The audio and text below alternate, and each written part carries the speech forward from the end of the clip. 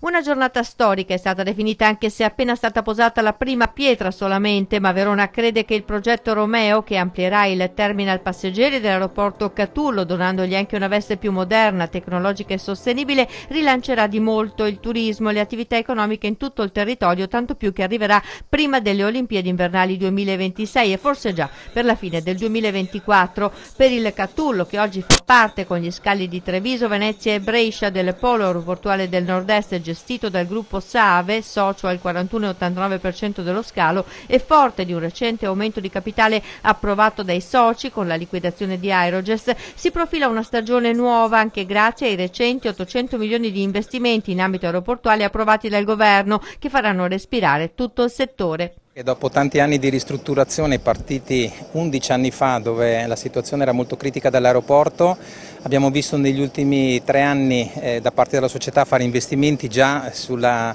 sull'aeroscalo per oltre 30 milioni di euro per quanto riguarda Verona e oggi parte il vero progetto, il vero progetto di rilancio dell'aeroporto con il rifacimento dell'aerostazione, un investimento di oltre 68 milioni di euro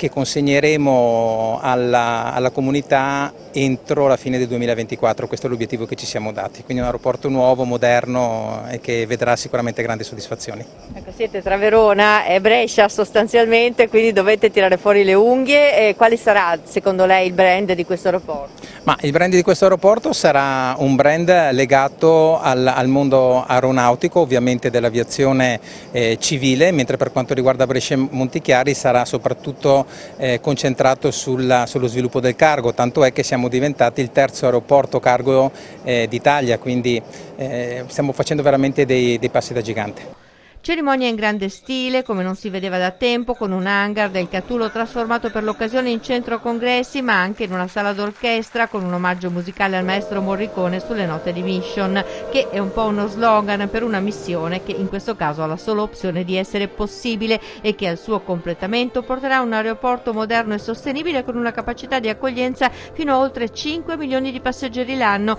un futuro auspicabile salutato anche nel finale dal passaggio benaugurale delle frecce tricolori.